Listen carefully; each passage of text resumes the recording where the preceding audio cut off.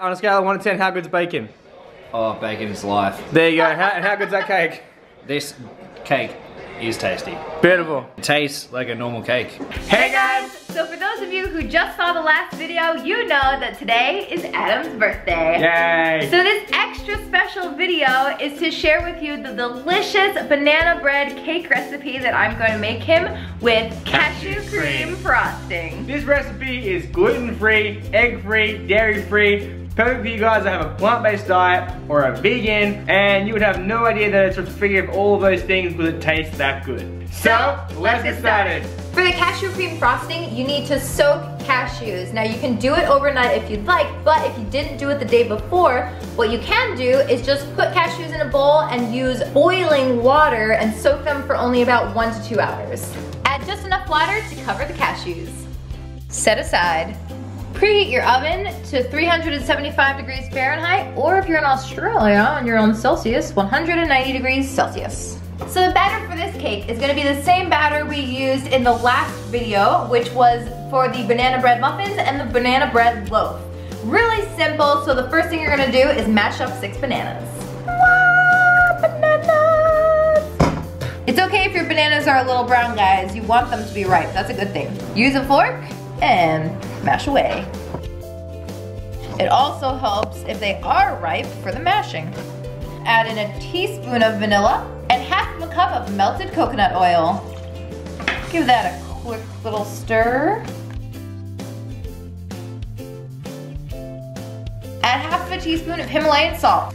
Add one teaspoon of baking powder and two teaspoons of baking soda. Mix together. Add one cup of arrowroot flour and two cups of almond meal. This last ingredient is optional. We're gonna add a cup of oats, but we know that oats are sometimes considered gluten-free and sometimes not considered gluten-free. So if you are celiac or you know that you do react to oats, you don't need to add this in. We tested it without the oats and it does work without the oats. Mix it all together.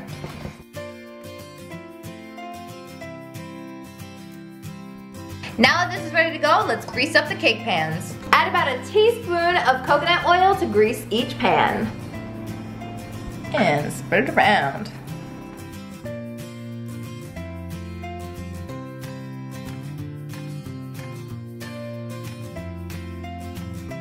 Now just eyeball it and divide the batter in half.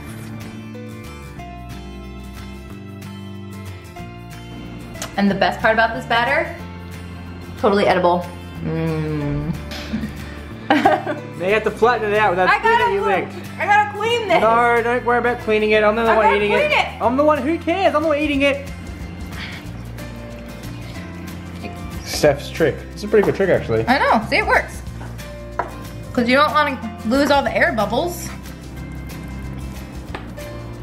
See? Look at that. That's pretty good. Ta-da! One on one side, one on the other. These have been soaking since yesterday, so now I'm just gonna drain the water out. To a food processor, add in the cashews, coconut oil, Himalayan salt, coconut sugar, a splash of vanilla, and some lemon juice.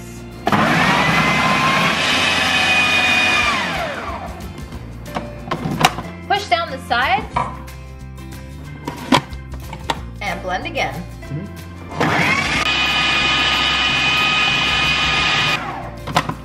This has been blended for about five minutes and as you can see, it could use a little bit more liquid. So if yours looks like this as well, start by adding just one tablespoon of water, blend it again, and let's see what happens. Now you can see this is much better. Oh yeah. Wait until the cakes are fully cooled before we put this on. It's been about 20 minutes. Mmm, look at that. Oh wow. Nice and golden around the edges. That one out. Look at that. Now that the cake has cooled off, we're going to put it onto our plate. So here's the bottom layer. Oh, look how beautiful that is. Boop. Oh, Beautiful. Both. ah, lovely. Now we're gonna make this a naked cake. So we're gonna put mm, third of the cashew cream on this. Now we're gonna add on some blueberries. Mmm, hidden surprises. For a beautiful top layer. Here we go. Oh my god. Oh my god, this is scary. This is so much. Oh, Oh wow. See? Caught on camera. Look at that. And guys, if you are making this cashew cream and you're not gonna frost it right away, put the cashew cream in the fridge before you frost.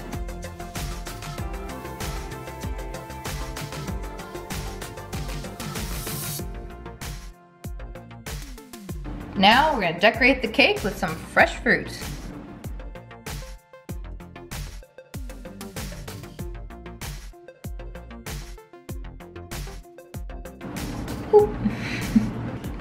Wow. Look at that. Easy as that, guys. Let us know if you make this birthday cake for someone special and send us your pictures. Make sure you give this video a thumbs up, because it's good. You can check the description box below for all of the ingredients and the macros. Not that you should really care about the macros on someone's birthday, because this is probably the healthiest dessert you can possibly make someone. That's right. Have a great week, guys, and we'll see you next time. Bye. Namaste. Oh, namaste. Look at the cake button. Oh, I said you've changed my, you completely changed my mindset on what a cake is. There you go. It was a revelation, and I'm gonna have to go away, sit on a jetty somewhere, and rethink what life is. Can you believe you made a cake with no eggs and no butter and no sugar? I can because you post about it a lot, but um, until I've actually tasted it, I was skeptical. There you go. That's the cake, people. Gorgeous. 10 out of 10. 11 out of 10. No eggs. Can you? No eggs. No, I cannot believe it. No milk, no eggs, no dairy at all, no butter, no sugar at all. Wow, tastes normal to me. Tastes pretty normal. There you. Yeah. I think it's probably fair that we ask the, the most unhealthy person in the room who lives off Red Bull and fried, anything fried, what he thought of it. And it's this guy right here. And he, he said to me beforehand, he's, he said he's not going to try it because there's no sugar in it. There's no cream or, or sugar in it. There's no sugar, eggs, or milk. Three of my favorite things. But yes, it was. so what did you think of it? It was absolutely delicious. Hey! Okay. Peace.